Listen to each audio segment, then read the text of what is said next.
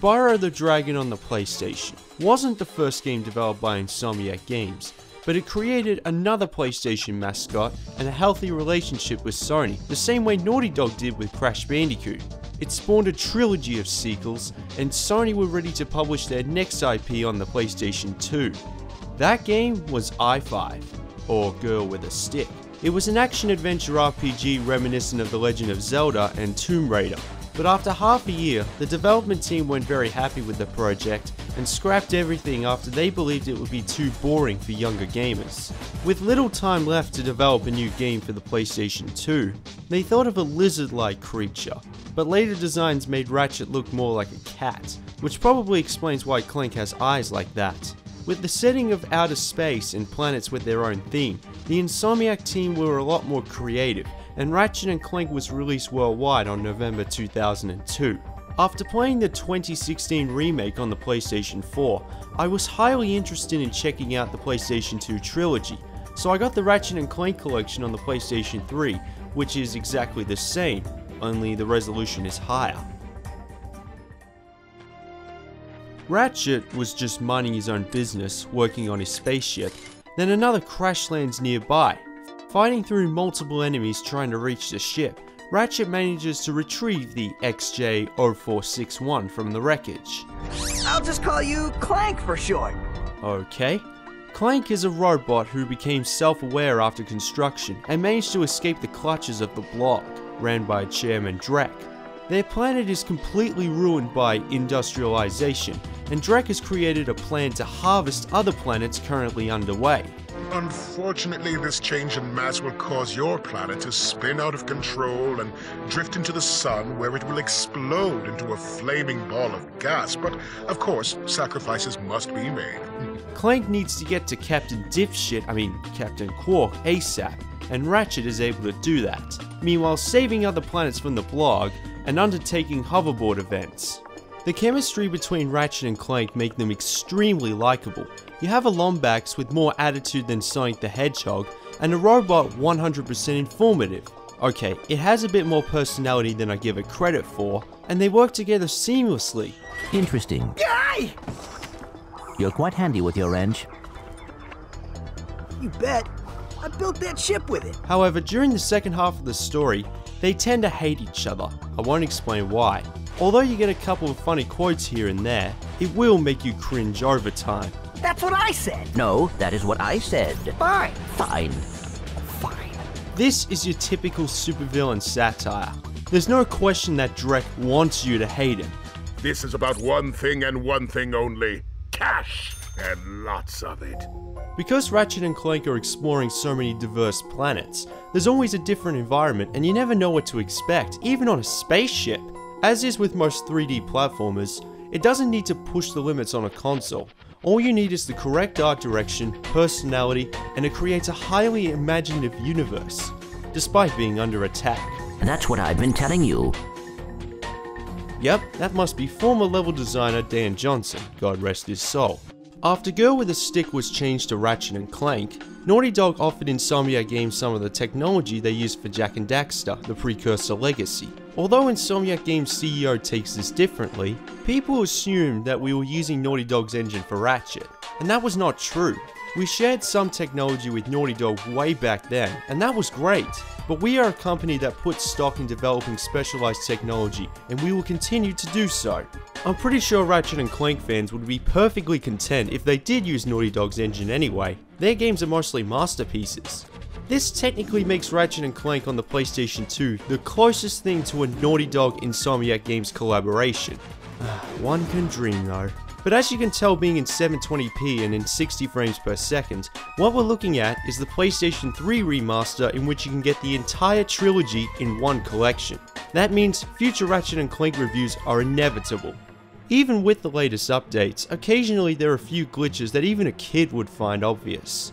Like when you're using a suck cannon or swimming in the water, the bar on the right doesn't completely disappear, and it can only be fixed when moving to another planet. Also, there was one moment when Ratchet got his breath back, the rest of the world didn't.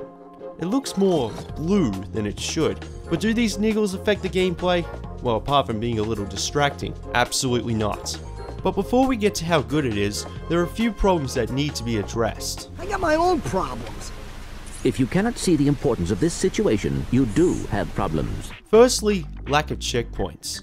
You have infinite lives, which are a relief, but the harder planets would take around 5 minutes to reach a checkpoint and there's no clear indication if you have or not. Now this would be okay if the enemies didn't respawn because the crates in your ammo supply don't. That's not the case. That means if most of your weapons run out of ammo, the challenge only increases each time you restart. Another problem is the trespasser system. This is frustratingly boring and ruins the flow.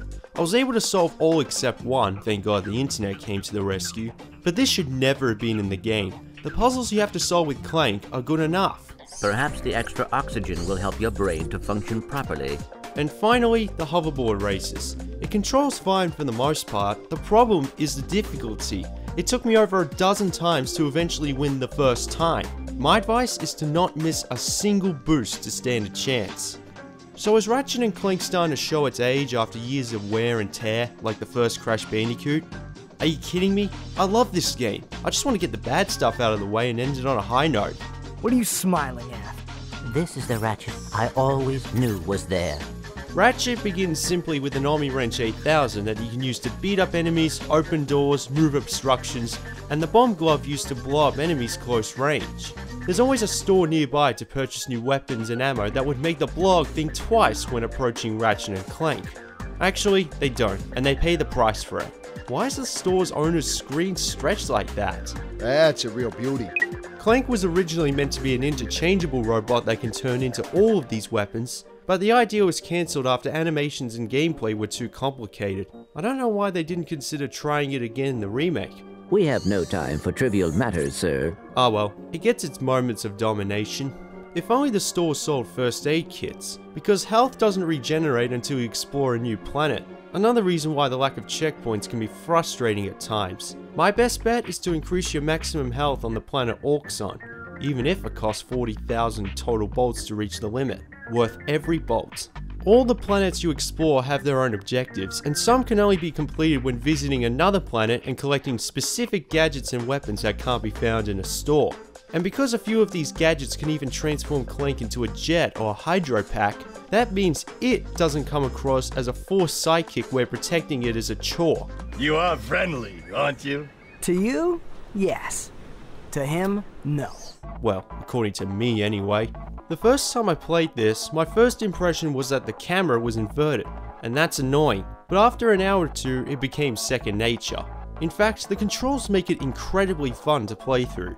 It's not perfect, you have to stop every time you aim like GoldenEye 007, and switching weapons leave you vulnerable to attacks. But as I mentioned before, Ratchet has a lot of weapons at his disposal. He can melee attack with his Omni Wrench, throw it, fire weapons, it's all about shooting, melee attacking, platforming, and everything comes together like a charm. Brilliant controls, the mark of a great platformer. To be honest, it should be a standard in any video game. Despite the AI not being as stupid as you might think, it's your fault, not the game's if you screw up.